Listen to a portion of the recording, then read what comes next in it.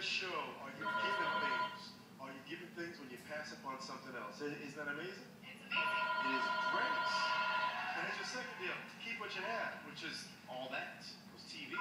Or, or, Tiffany, can you come in, please? We're running as fast as you can because I know that you move very quickly. Come over here, Miss Tiffany. It's a you look lovely today. And I love your matching purse. May I give this purse to... Timmy.